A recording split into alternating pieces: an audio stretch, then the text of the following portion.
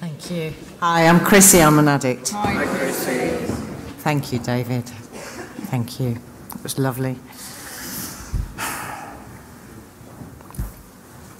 As usual, in most meetings, I identify with everything. Mostly. Um, I'm another outsider who I came in. I came into this fellowship looking for a way to handle my drugs. That's what I was looking for. And uh, also, I was looking to manage parts of my life, i.e., not go to prison. I'd got uh, the end of my using took me to a point where I had a, um, I was threatened with a, a five-year sentence, and I was so lost within myself. I didn't know who I was. I would change who I was depending on who I was with, and my nightmare at, at um, at 16 or 18 when kind of some of the people that I grew up with or were at school with had had a party with their friends. That was just the worst possible idea because I was such so split. I didn't know. I called myself different names. I spoke in different ways. I was completely lost. And I just wanted you to like me.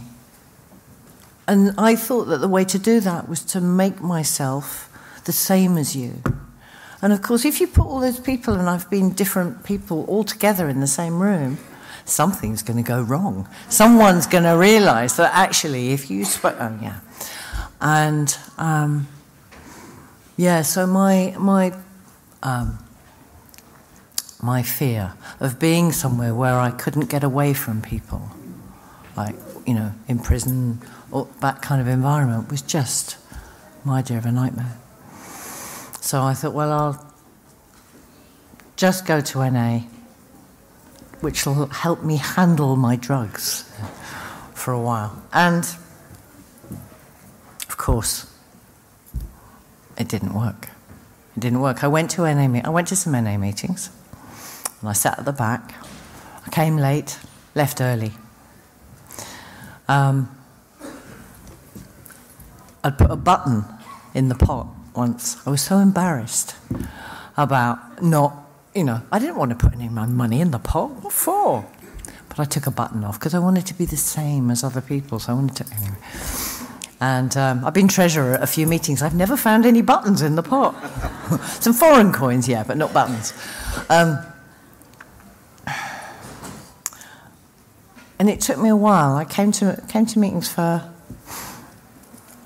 Um, in fact, it was about a month. Came to meetings for about a month. Used in the toilets, left early, wouldn't look at people. One meeting I sat in, my stomach was rumbling so loudly because I didn't eat. Someone turned around and handed me a Mars bar. And I remember I was too embarrassed to eat it. I was starving, but I was just so self conscious, so full of self centered fear, just totally terrified that other people would think something about me. And after about three weeks of going to these meetings, um, I had a, I landed up my last time of using. It took me to a place, another squat, another uh, being with people that I didn't want to be with, um, using against my will landing up seriously seriously considering suicide. Uh, and this little thought occurred to me. I could try one more of those meetings. I don't think that thought was in me. It was surrender, actually, that's what happened. I used to see a sign on, there was a, a slogan on the wall at Rathbone Place lunchtime meeting that said, I didn't quit, I surrendered. And that's what happened to me that day. I, this thought came to me that perhaps I didn't need to kill myself just there and then. I'd try one more of those meetings. And I went to a meeting and I heard this woman. She was American and she was four years clean. And I remember thinking, my God, it was the first time I'd ever listened to anyone. I'd been at meetings, but I hadn't actually opened my ears. And this woman, I remember looking at her thinking, God, if she can do four years, I'll try four hours and it was three o'clock in the afternoon. And what I did that was different was when people said to me at the end of the meeting, Will you come for a cup of tea afterwards? I said, Yes. Every bone in my body wanted to just run and hide and use more. Because that's what I'd always done just use. Every feeling I had, I was terrified of. Didn't know how to handle anything. And what I landed up doing was going for a cup of tea with people after the meeting and going through the feelings. And I started to learn that initial thing of there is no way round feelings without drugs. You can't go under them, over them, round them. You've got to go through them. And that actually it felt difficult. It felt really, well, more than difficult. It really hurt. I sat there feeling like a frightened rabbit in headlamps. But other people were kind and didn't give me the third degree and I started going to the same lunchtime meeting every day. And after a couple of weeks, people went, Oh, hi, Chrissie. And seemed reasonably pleased to see me, rather than opening the door on the security chain, going, You again? No way. And slamming the door in my face, which is what I was used to from my using. And I started to feel, and people remembered my name. That was so important. I'd felt so invisible really, a lot of my, my I grew up in a family that was, I often say, put the, put the dis in dysfunctional. Um, like a lot of families that a lot of us come from, it was pretty messed up. And um, I felt like I didn't matter. That was the message that I got. And I didn't have a voice. I didn't have, I didn't know what I had to do, who I had to be to get my needs met. And so I would just hide everything, hide everything about me, and really, and, and hide away. And using drugs for me was a way of hiding, hiding from my feelings, hiding from you, hiding who I really was. And what's happened for me in NA is that I've gone from someone who felt like a jelly. I felt like a jelly, with, or like an egg with no shell. You know when you softly boil an egg and you take the peel off it? I felt like that for ages. And that if you just sort of pushed me too hard, I'd break and run all over the place. But I stayed because I had nowhere else to go and because I'd got some hope. I saw some people and I thought, if they can do it for that long, I can do it for this long. And someone turned around to me and they said, You know, if you've got a day clean, you've got something to offer someone who's just walked in the door. like, Really? Are you sure? Me? No. That actually, if I'd I'd never had something to offer anyone. I'd never had the ability to turn around to someone and say, I've been clean for 24 hours. And for someone else to turn around to go, wow, really? I'd never been able to give anyone any hope. And that was the first gift that I got, really, that actually I could make a difference to someone else. Someone turned around to me early on and said, I believe in you and your ability to stay clean and recover in NA. You know that thing in Just for Today? Whether they believed, really believed it or not, doesn't matter. It gave me hope. I believed that they believed in me. And I believe that no one's past, no one's helpless, no, one, no one's hopeless, no one is without a chance, whatever goes on. I had a lot of reservations, like you were saying, David, a lot of um, things about what if. I limited myself with things that I would imagine might happen and things that I would surely have to use if they happened. And I would spend ages thinking about all the awful things that might happen about which I'd have to use. And other people would say, well, can't blame her really. You know, this terrible thing happened. And so part of me would be sort of going, well, then I'd, I'd it'd be like a free use up. No one would blame me. They'd say, well, you know, you'd have to. And I have had a lot of really difficult stuff happen, stuff that if I'd have been told early on, this might happen, I would have not going to get through that. But actually, what's happened is that each time something difficult's happened, the fellowship's been there for me. I've landed up going to meetings, crying my eyes out, and saying yes when people said, Do you want to come you know, come to my. People have made me a bed on their sofa, made me a sandwich, run me a bath, and took me to meetings until I was able to do that for myself again. And that's happened for me time and time again. At the end of relationships, through loss, my best friend died when I was 10 years clean of AIDS. A lot, a lot of my friends died. Um, most of the people that I used with are dead. Very few of us survived that, you know, that time of the, the 80s. Um, my daughter was stillborn seven and, seven and a half months. My son was diagnosed with autism. Um, all that, a lot of that stuff happened all at once in a period. Some of, some of it happened in a period of a couple of months.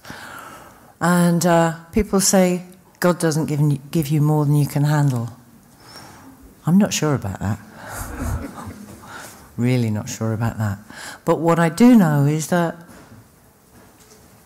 when the shit hits the fan for me, I go back to basics. I do what I did when I first got clean. I go to a lot of meetings and I open my mouth and I get real. And I say yes and accept whatever help. And I spend my time with other people who are clean and recovering and who have faith in me and my ability to recover.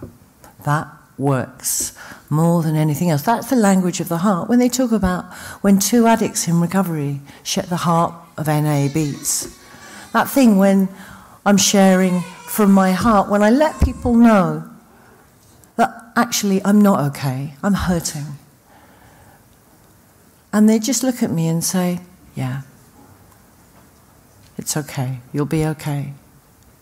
There's nothing quite like that feeling of connection where I let people know that I'm not as together today as you know as I was. I may have been telling you for the last X amount of time I'm fine, and then it's like actually I get real. I've never ever been met by anything but compassion and acceptance and love. And I don't, I've never found that outside of these rooms. I have got friends who aren't in recovery, not that many.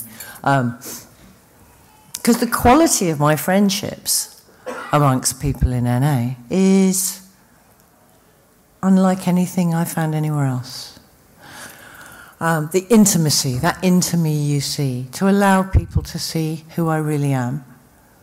That I'm not. I had. Uh,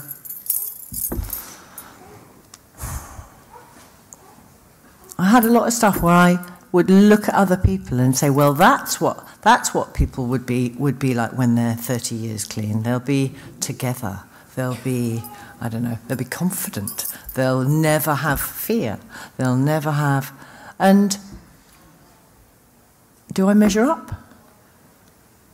Not internally, externally, yeah. But when I can tell people what goes on inside, that actually there's fear, there's difficult stuff. I've had some stuff in the last year to do with my family. I was estranged from a lot of my family for, for a while. I needed to be It was part of part of my process, and um, some stuff's happened in the last year that's been really challenging, that word that we use, challenging. It's been really painful, it's been really difficult. Uh, and it's landed up with something remarkable happening. By taking a step back and allowing a process to happen, I don't quite know what happened. I do know it didn't come from me. I do know that it was from, I don't know, a better part of me that I often don't recognize and don't connect with. There, I've found a point of a different relationship with my mother, of forgiveness, which to let go of my, my expectations, to let go of the hurt that she wasn't what I wanted her to be. She didn't give me what I needed. Um, and that, that it's nothing to do with me. Her stuff is her inability to be nurturing, to be whatever, is because she's one of us. And it's nothing to do with me. And something, her husband, her fifth husband, died earlier this year. And um,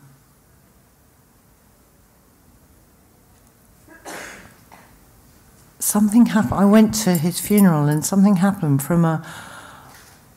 There was like a breaking of this shell of disappointment and anger and hurt that she was who she was, to seeing her as a vulnerable, elderly, frail old lady that actually I felt nothing but compassion for.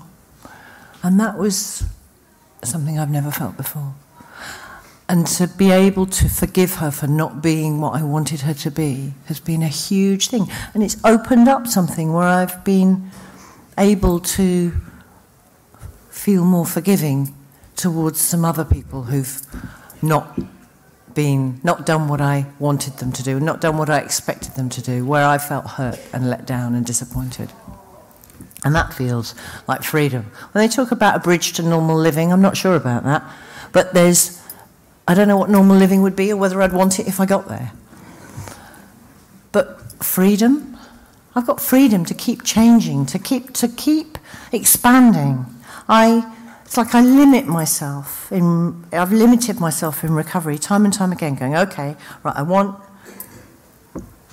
you know, I wanted to move out of London to um, I'm a Londoner and I wanted to move out of London and go and go and live um, in the countryside, and I moved to this village, and I was imagining how lovely and friendly it was going to be living in a, living in a village, and um, you know how I might bake cakes and stuff, and how I was going to feel part of.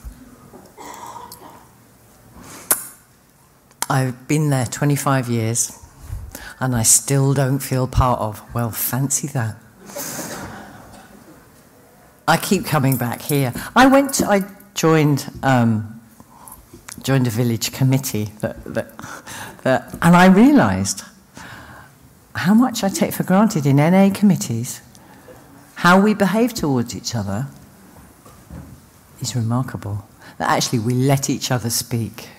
We treat each other with respect. We take turns whatever. I joined this village committee and felt alternately suicidal and homicidal. I had to ring my sponsor after every single committee. I think I lasted three months and made excuses and said I couldn't do it anymore. NA committees have taught me more about myself than I'd really like to know, actually. What a control freak I am. I came in this sort of, oh no, I won't say anything. Oh, by the way, you shouldn't do it like that.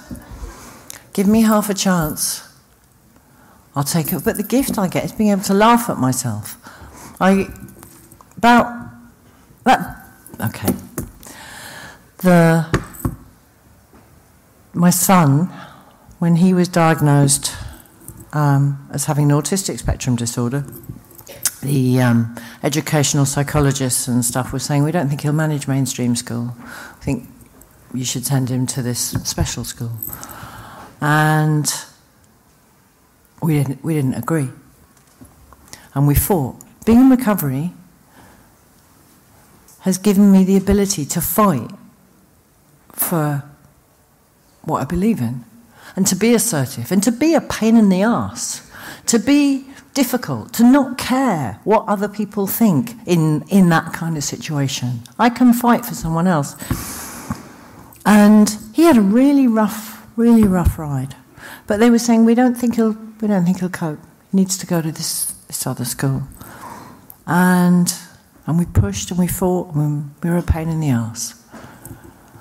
And you know when professionals say, hmm, you're very well informed, aren't you? In that kind of, God, you're just difficult. Um, but he's now 24 and he went traveling around the world. He got to 16, he went traveling around the world. He, at one point, he, he told us this, he'd been carrying this secret around. And he told us this, this thing about himself. And um, it was a big deal for him. And a couple of weeks later, he said, Do you want to ask me anything about what I told you? And I said, Yeah, were you worried about telling us? He said, Why would I be worried with your checkered past and all your funny friends? and the joy of actually the gift of being able to bring up kids within this fellowship, within the safety of the friends, the, the, the fellowship. There's two parts. There's the program, there's working the steps, there's the stuff I do with my sponsor, there's being in meetings, and there's fellowship. There's hanging out in McDonald's after the meeting. There's, you know, there's one of my home group members there. Um, there's, you know, I don't go there for the, for the food, honestly. Um, I'm a food snob. Um, so she, at midnight last night in Soho looking for ice cream. You know, I love being able to be impulsive, spontaneous, and silly. To actually have the childhood at 55 that I didn't have at 5, at 10, at 15, to be able to laugh and be stupid. My voice, my throat hurts this morning from laughing. Normally, I spend time at conventions laughing being with people I love being with, who I can be silly with, who I can be, and who I can be serious with too. And the thing about getting older in recovery is years ago at that Real Place meeting in Hampstead, up the road from the Hampstead Heroes, there were bicycle racks outside with tons and tons of bikes, bicycles. And someone said, if we keep coming back, one day, instead of there being bicycles, there'll be Zimmer frames. and I thought, yeah, and then what will we do? So one day, I'd like to have an NA old people's home. Because I don't want to be locked away in some retirement home uh, where I have to say no to the glass of sherry at six o'clock every night. I want to be with people I can be stupid with. I can be myself, who I like being with. And in fact, yeah, we have a plan. Maybe we could have a, like, lots of, Mary has an idea that we could have, diff, we could have, we could have retirement homes in different countries so that if we got a resentment, we could then do a timeshare, you know. Go somewhere else for a while. But actually, why not? You know, the possibilities are limitless. But the thing is about being connected. I, when I feel connected, I feel whole, I feel safe, I feel solid. I feel not like a jelly.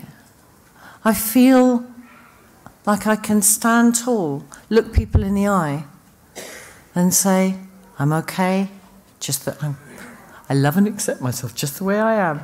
Um, I can accept myself as being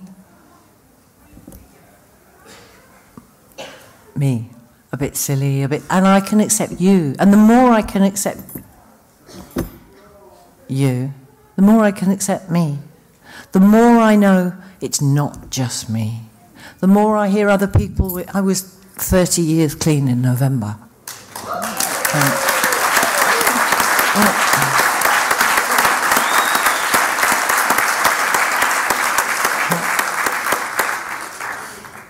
And for a while I go, well, I'm not what I thought 30 years clean would be. I don't know. I thought somehow something, I don't know. Maybe I'm not what I thought I'd be. But actually, I've got freedom. There's nothing that need limit me. Uh, thank you. About six years ago, my son left, went travelling, went to university, now doing a second degree. Blah, it's amazing for the kid that wasn't going to manage mainstream doing pretty damn well. Um, he's really proud of the fact that we're in recovery. He was at university. He said he was playing. He, there was a girl in his class who was who said her parents were in another fellowship, and uh, and he said, "Oh yeah, they're in you know whatever the mother fellowship," and um, and he said, and I told them about you, and I said, "Really? Are you proud of the fact that we're in recovery?" And he said, Oh my God, yeah. He said, Yeah, you have a life way beyond what all my, all my, none of my friends have parents like you. It's like, wow, really?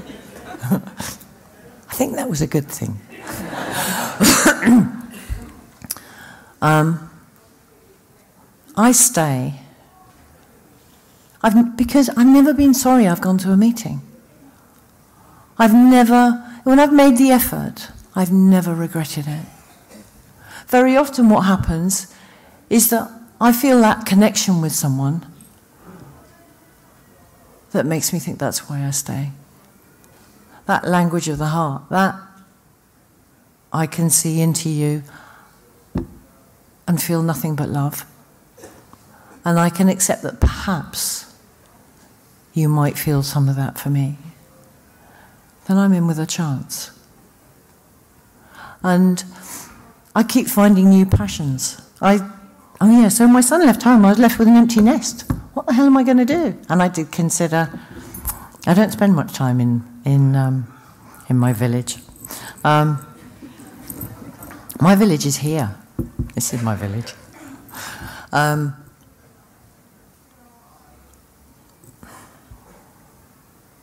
come to London a lot. I come. I make an effort to go to meetings.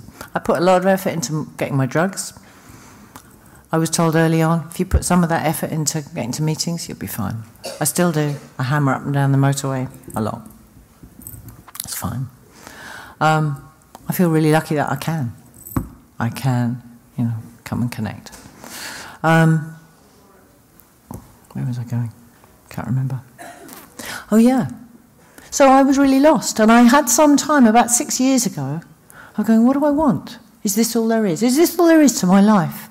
I was really, I hadn't realised how much of my effort I'd put into this boy that needed lots of help. I hadn't realised how much of myself had just got involved in micromanaging his life. And, oh, micromanage anyone else's life given half a chance, too. And I felt really, you know, really lost. What am I going to do? What? And I started to consider maybe I could be normal. Maybe I could, maybe I could just drink red wine. And I started to think about how big would the glass have to be? Have to be really big.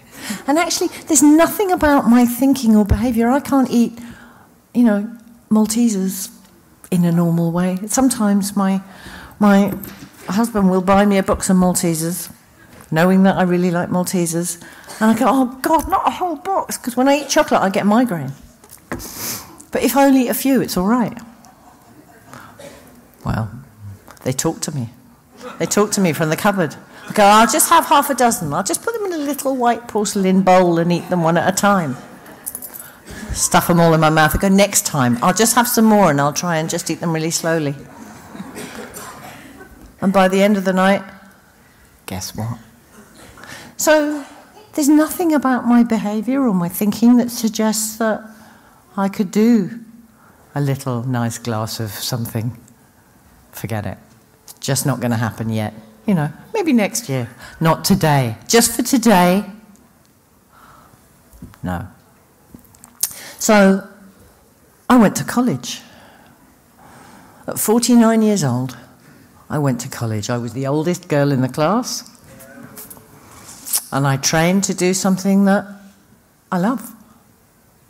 I found something new. I found a passion. I joined. I went to an H and I committee to complain about how long it was taking for the letter that I, I was writing. To, I was involved in prison sponsorship, and it was taking about a month for a letter from a woman I was sponsoring in Holloway to get to me. And I went to complain. Why is it taking so long? How long does it take to stick a letter in an envelope and post it to me? And they said, actually, we're desperate for people to come and help. You could come and stick the letters in the envelope. And I went, oh, okay. All right then. And I got involved in this committee where I started reading when people write in and ask for a sponsor from prison, they often write a little bit about themselves. One guy wrote, Thank you for. He got a basic text which you can get free. Any prisoner can get a basic text free if they ask. Just a basic text, not the other literature. Don't tell them they can write in for the rest of it. But so this man wrote back and he said, Thank you for. Um, I've got the basic text. It's my most treasured possession in prison. I thought, wow. And I read letters from people saying, I've been in NA before, I had, you know, 17 years, 7 years, 20, whatever time, and now I'm back in prison. And it reminds me, it's like, yeah, that's waiting out there for me. I go to meetings, I hear newcomers, and I'm so grateful. Because I remember. I need to remember, like you said, I need to remember how I felt I need to remember why I'm here. I'm here because of that, and I'm here because of this. I'm here because I love doing this. It's a huge privilege that actually I found a seat and I've stayed where so many don't. And it's important. My job is to reach out. If I see someone new in a meeting, it's really important that I let go of my self consciousness or I don't know what to say or my, you know, feelings of, uh, yeah. How do you start a conversation with someone? Except you go and give it a, give it a shot. Hi, are you new? Welcome. Do you want to go for a cup of tea? That's my job. Make an effort, even if it's not easy. And from that, I've got the most beautiful people in my life, people I really like spending time with, and who like, love and accept me in spite of everything. And that's, um, oh, I'll shut up. Thank you. Aww.